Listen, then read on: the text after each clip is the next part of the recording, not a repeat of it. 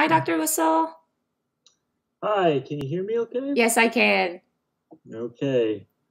I can. I do have access to a slightly higher quality mic. Uh, if if this ends up not working out well, good to see you. How you doing? Very well. How are you? Good. Good. Great. Uh, all things considered. um, all right. So um, I think I will turn off my video soon. Um, okay. I don't know if you want to open up the video or um, or wish, uh, um, how, however you um, if you um, like having video open uh, for yourself, great. I actually can't open it now because uh, I have not yet had time to clean this area after I was playing with my son this morning, and I no doubt problem. it will leave a positive impression for our discussion today. Not a problem. Thank you. All right, so I'm going to hand this over to Bushra, who will be doing the interview with you. Sounds All great. Right. Well, thank you, Dr. Whissell, so for agreeing to um, have this interview with us. So I'm just gonna ask you to begin the interview by introducing yourself and what your research background is. All right, great. Uh, so I am Dr. Paul Whissell. I have a PhD from the collaborative program in neuroscience at the University of Toronto. Uh, I did a lot of research in animals, actually. That's my background initially in uh, learning and memory, in mood disorders, psychiatric disorders, and I also looked at um, um, drug use, particularly cannabinoids, uh, throughout my research career. So I've covered a lot of things. At this point, I am now um, entirely devoting my time to teaching. So I don't have an active research program. I've since moved away from that, and I teach.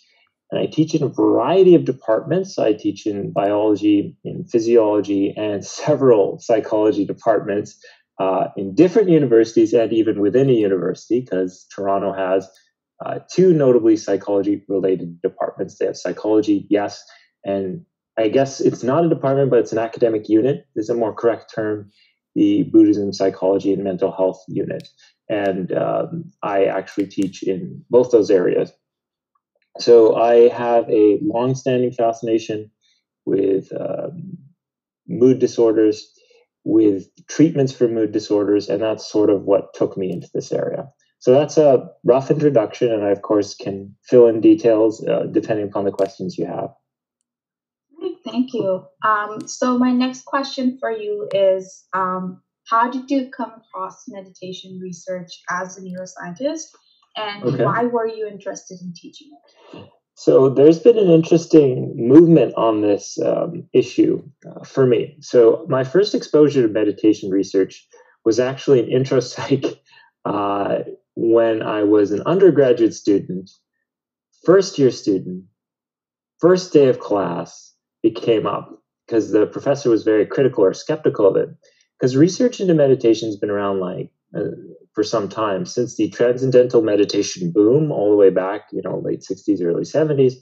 Uh, there's been a lot of coverage of it. And my professor, in um, uh, my undergraduate professor, was around during that time and working during that time, and definitely a skeptic during that time. So initially, he went over the research and um, it was a, a, pretty scathing review, let's say, of how it was done and the effects therein. And I actually didn't uh, uh, have any contact with meditation again until much much later. And I went on with this. Um, I maintained that critical, skeptical perspective. You know, be open to anything being possible, but also requiring evidence. And I maintained that approach for a long time. And then uh, after my um, postdoctoral fellowship was wrapping up, there was an opportunity to teach a course. And this is funny. I don't know if you all know this, but a little bit of a backstory. Uh, the BPMH, again, the Buddhism, Psychology, and Mental Health unit, had uh, wanted to offer a course on the um, physiological and psychological effects of meditation as explored by researchers. And so, what was funny about this to me was they had this posting for a while, and uh, the person they wanted to do it, as I understand, couldn't take it, and no one else would apply. And the reason no one else applied, I think, and I, I have no proof of this, but this is just my theory, is that uh, a lot of scientists were scared away from this position because they felt it was a topic that couldn't be researched scientifically. I felt otherwise. I applied, Um, and I ended up getting the position. And then, uh, being, you know, um, at the age that I was, having no experience with meditation, I began a summer of relentless reading and endless conversations with people. And that sort of process is still going on today. But prior to taking that course, I had no experience with meditation other than um, hearing about it briefly in undergraduate psychology. And since then, I've done, I don't want to say um, done nothing but have these conversations, but I've certainly had a lot of them. And uh, it, it's definitely been uh, formative. It's definitely uh, changed my opinion on things because, again, the idea is it's this uh, practice of meditation is something that can be researched by scientists if the designs are done right. So that would be my experience was very limited before the course started. And once I got the position, I basically I met with meditation practitioners, I met with instructors, I even looked into uh, applications of meditation in the clinic. But I did most of what I did was what I was hired to do was approach it from a critical perspective of a researcher. So I read an enormous amount of articles. So I try and turn this into a positive when I speak to my students. I say that my experience is in doing research on meditation. I don't have anything to sell them. I don't gain anything, whether or not they love or hate the practice. I only comment critically on the research available. So that would be what I offer to the department, um, sorry, to the unit. Other people ha- offer something wonderful and very different than that. Long answer, but I hope it touches uh, or answers your questions. No, it does, and it actually like segues into the next question because I remember you mentioned in class that you don't practice meditation. Um, yes. And so, what is it like for you um, as someone who doesn't practice meditation, but you're basically teaching a course on it, um, and especially its effect on neurobiology?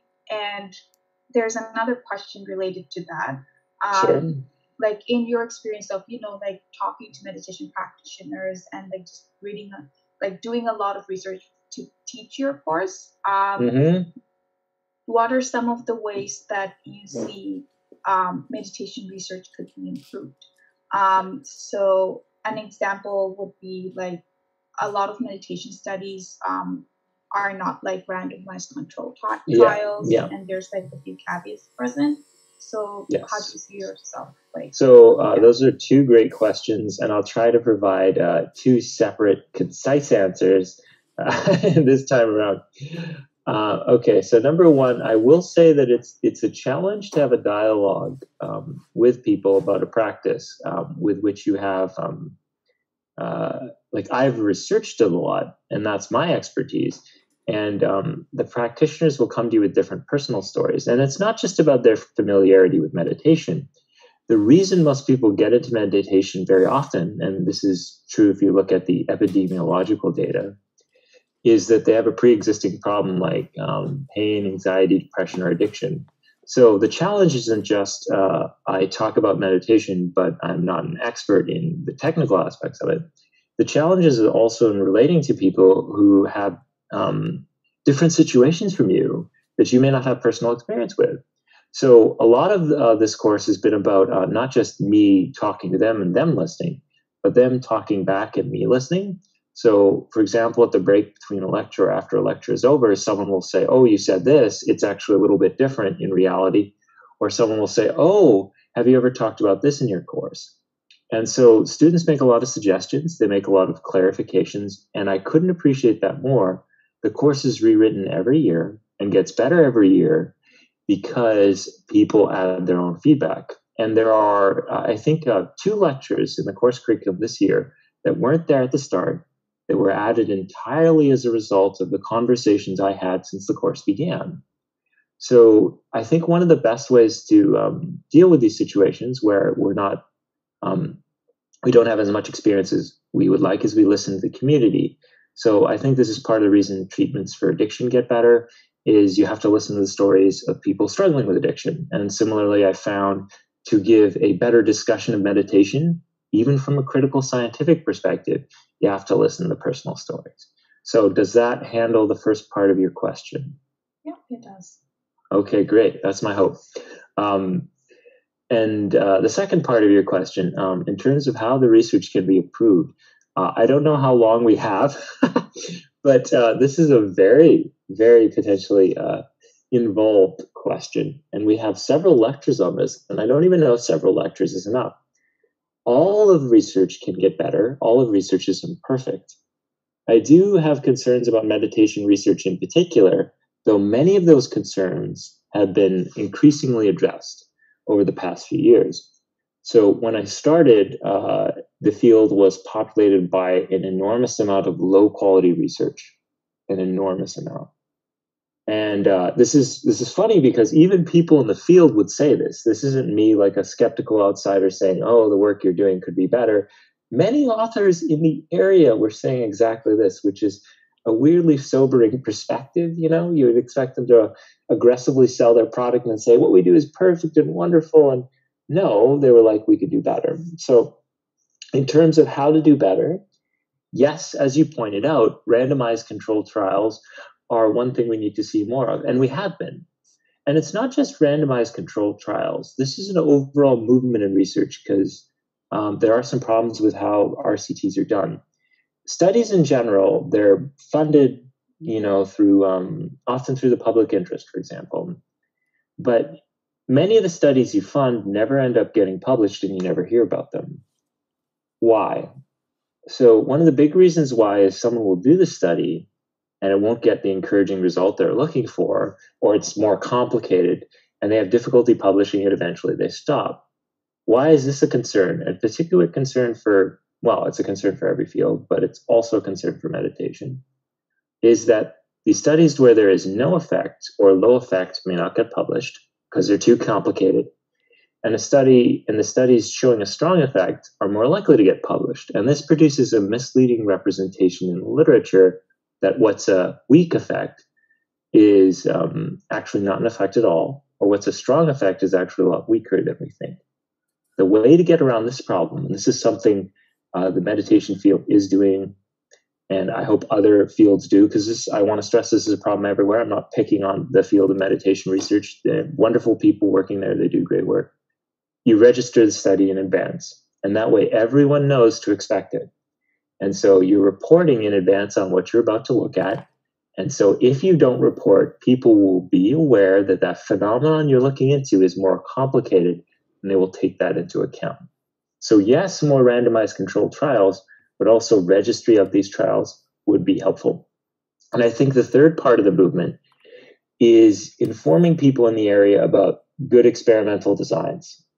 Uh, and this is absolutely necessary when you're looking for causal relationships between anything. Our argument is uh, that meditation changes the brain, meditation changes behavior. That's a, a causal relationship. And up until recently, we had limited evidence that that actually occurred.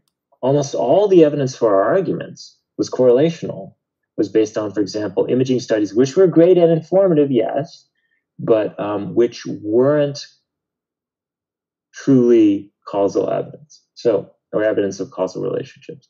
So, one of the biggest things we need to do is we need more experimental research demonstrating causal relationships. We need to um, uh, train students better in this area. And more importantly, make them aware that this high quality research can be done. As I was highlighting earlier, I think one of the things is people get scared about this field in the sense that uh, you can't really do a scientific study in this area. I don't think that's true. You can't do a clinical study in this area. I don't think that's true either. We need to get rid of that stigma. We need to educate people on the method, stress to them it's important, and then those studies uh, will go up in frequency over time. Um, those are um, some big points. Uh, there's probably there's one more I wanted to get to, and it's it's oh last thing. In terms of the research improving, I think one of the things it has to do is uh, also talk about the implementation of meditation in the clinic. So one thing we do is we we we look for evidence that there is an effect, and that's great. But we also have to see if we can apply that effect meaningfully in a real world context. It's kind of like we can show an effect of a drug in the lab, but you have to do a clinical trial to see, uh, strongly support that it's useful. We need to do a similar setup with meditation where we need more like applied uh, studies there. And finally, I guess the last thing in terms of experimental design, when we're talking about good designs, and this is one of the biggest faults of this field um, and many other fields in psychology as well, and overall, is they need, when they do studies, they need to consider the effects of expectation a lot more than they do. They need to do designs that factor that in a lot more. Uh, and this is a real problem. Um, and you've both been through the course, right? So you know I cover this a lot. Your belief in whether or not a treatment works plays a big role in your end response to that treatment. Many studies in this area, unfortunately, don't control for belief, make no attempt to. And we have to find a way of managing that problem. I hope that answers your second question. Oh, it does. It was really helpful. Um, and it also ties into the next question I was ask, um, which is um, so in the next 10 years, how would you like to see this research field evolve? Okay. So, a couple things. Uh, more RCTs, yes. More registry, yes. Um, dispelling the stigma, yes. Training more students, yes. I've covered all that.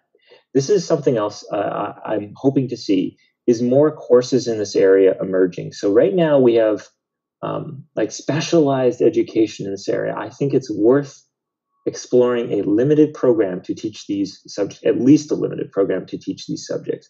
So you, for example, have specialized courses in abnormal psych. You might have specialized training courses in cognitive behavioral therapy. You might have specialized courses focusing exhaustively on a therapeutic method or one disorder.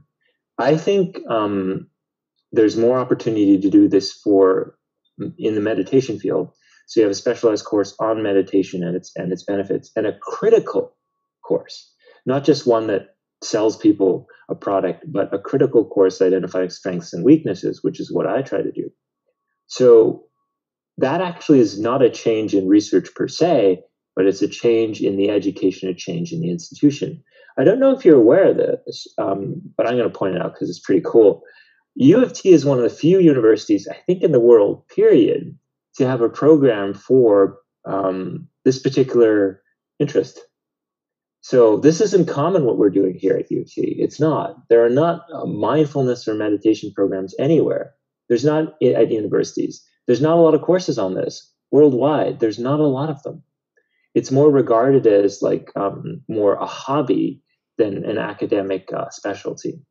So if we're going to make any real progress, if we're going to conclusively determine how valuable these treatments are, we need to change our approach to education and consider some offering of courses in this area and give it a shot and see if there isn't real progress or real benefit that emerges from those offerings.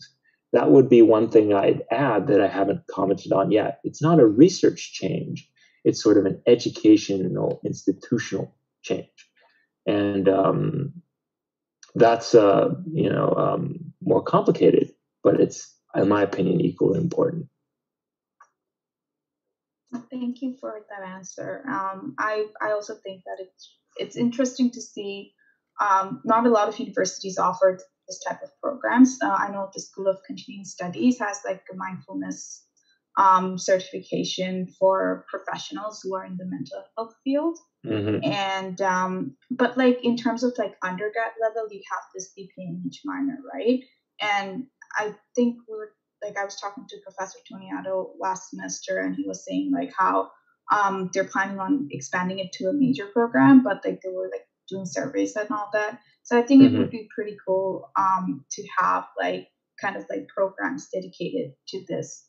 So speaking of um, education programs, if mm-hmm. you had an opportunity to complete a thesis or I don't know, go back in time and do your PhD on mindfulness research, um, what would it be about and why would you choose that topic?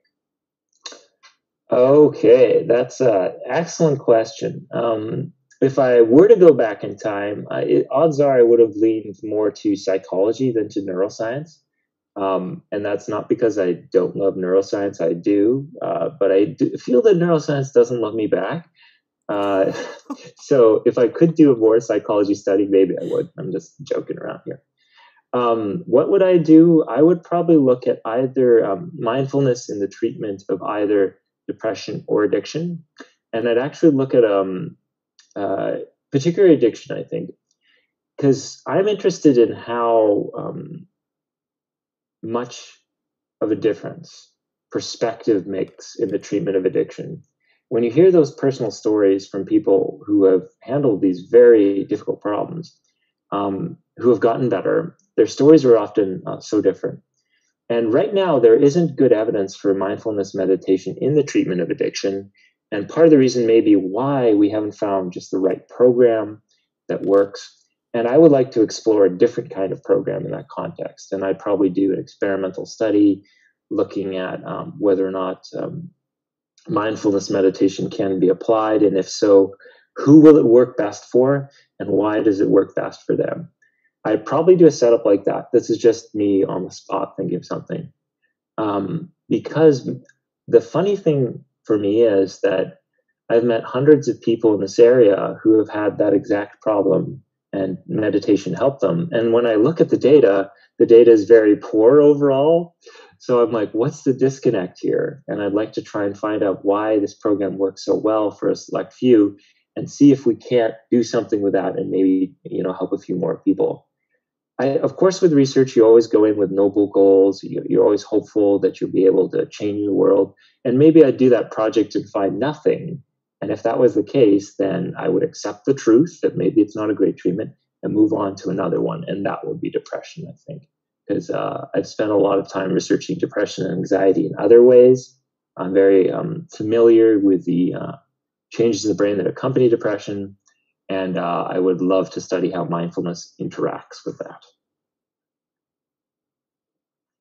Well, thank you for that. Um, that's all I have for questions to ask. So, do you have any final remarks for this interview?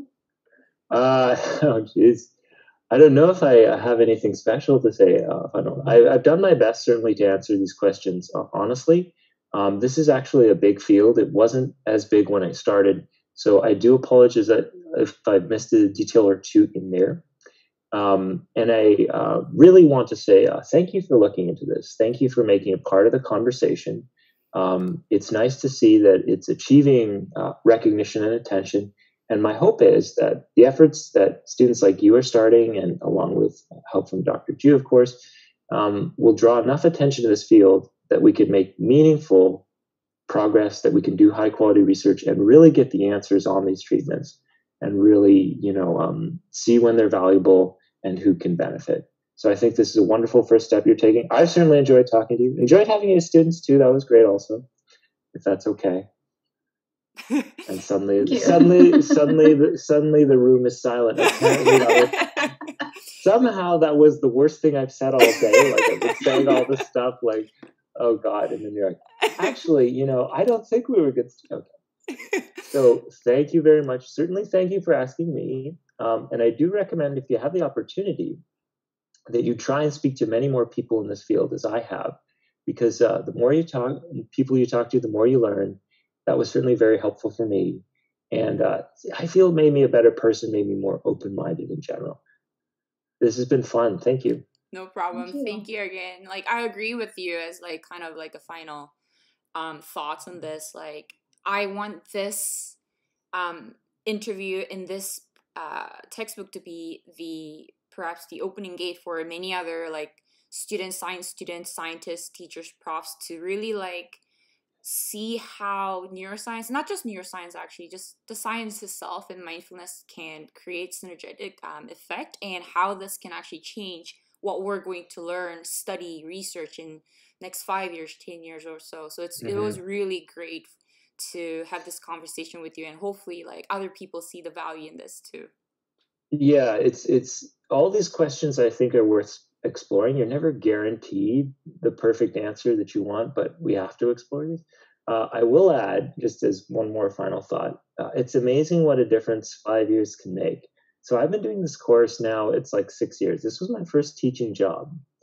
And even in six years, it's amazing the movement that's taken place, like the growth in the program. Um, I don't know if I've told you this, but this course started as 30 people in a basement.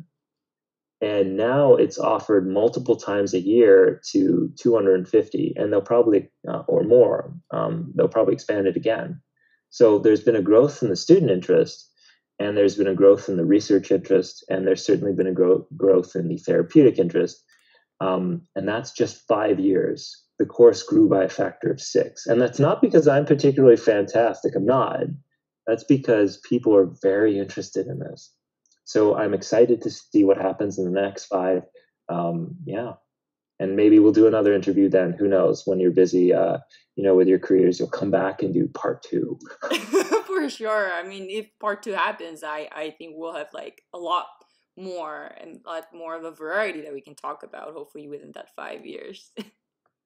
Absolutely. Um, yeah. So, uh, just actually, if I can ask this, um, just to make sure that I've, I've nailed everything, if uh, I at some point could see the transcript or have the recording as well. I want to make sure that I faithfully represented um, BPMH's goals along the way. Uh, I don't want to misstep in any way. So yeah, um, if you could let me know when that's done and I could see it, that would be awesome. Definitely. Uh, and I also kind of want it for my own record, so I could say, "Hey, I had this dialogue with these people making a textbook. Do you want to hear it?" I just, uh, you know, this has been fun for me too. This is what I want to stress for you guys. Um, you presented to me multiple times actually and online as well this is the first time you get to see me present to you so i hope it was fun it was it was a nice like refreshing break from all you know all these like no talking yeah, so, for days so here's what you can do you can send me a mark via email and tell me what needs to improve just uh, as your last act of revenge as, a, as an undergrad before you move on to to um, your, your professional training Anyway, uh, don't want to ramble too much here. It's been lovely. Uh, can I help you with anything else while you're here? Um, I think we are pretty set here. So, like um, you asked, what I'll do is I'll transcribe it. It'll probably take a day or two to make it as like mm-hmm. a readable one, and then I'll uh, send it to your email first before we publish it. And then once it's uh, finalized and published online, I'll also share the link for you to have it as a uh, teaching portfolio or something like that. Okay, okay, sounds great. Awesome. Thank you so much, Dr. Whissell. Right. Thank, Thank you, both. It's been fun. Thank you. Take bye. care, everybody. You too.